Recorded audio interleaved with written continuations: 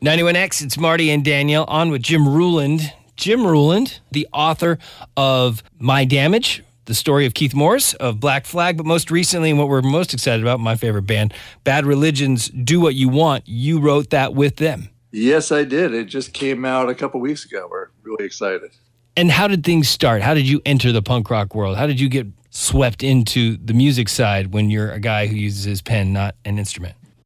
I wrote for uh, punk rock zines for uh, most of my adult life. I moved out to San Diego. I actually got out here thanks to the U.S. Navy. I'm an East Coast kid, and I enlisted in the Navy right out of high school, and that's when I fell in love with Southern California punk rock. So you live in San Diego now.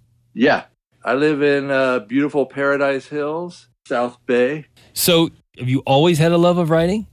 Yeah, I mean, I was a terrible student, which is why I enlisted in the Navy after high school.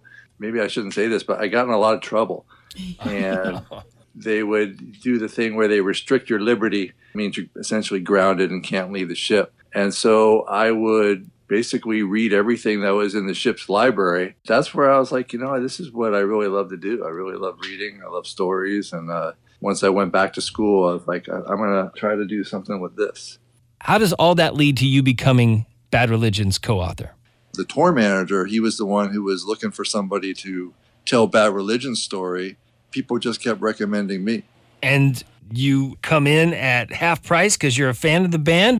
Or well, you know what? I was a fan of the band, but I was extremely nervous because Bad Religion has a really extensive catalog and a long career. And I'd be lying if I told you that I had, you know, followed every one of their releases and knew every one of their albums. I actually uh, first became a fan in 1987. who do you speak to in the band first about writing their book?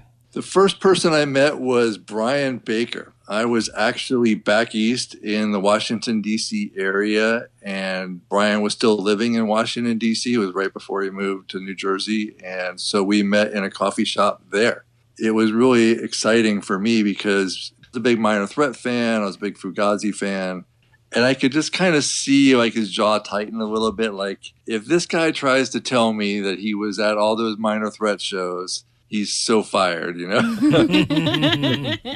but that wasn't the case. I told him I missed the whole thing, and we had a laugh about that. And he said, Well, yeah, I mean, everybody missed it. It was just our after school project. And then who do you meet? Jay was the next person I met. You know, we did a series of meetings in diners.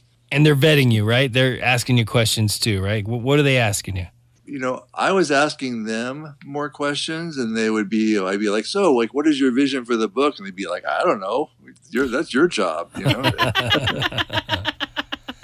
they just told me from the beginning that they didn't want something that was going to be a bunch of tour stories and you know jokes and stuff like that because that's not really who they are. And then you meet Professor Graffin. And how does that go? Because I think you guys have become friends. I just had an enormous amount of uh, respect for Greg, and I was a little intimidated to tell you the truth because you know he's written books in his own right.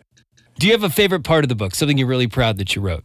I really like the stories of when band members come and go.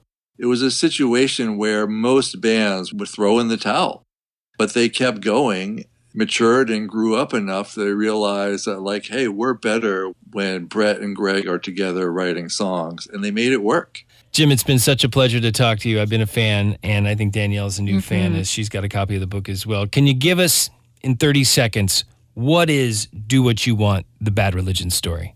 Do What You Want tells the story of uh, 40 years of punk rock from the beginning in the San Fernando Valley when a bunch of teenagers started a punk rock band and stuck with it. Did I go over? No, no. Jim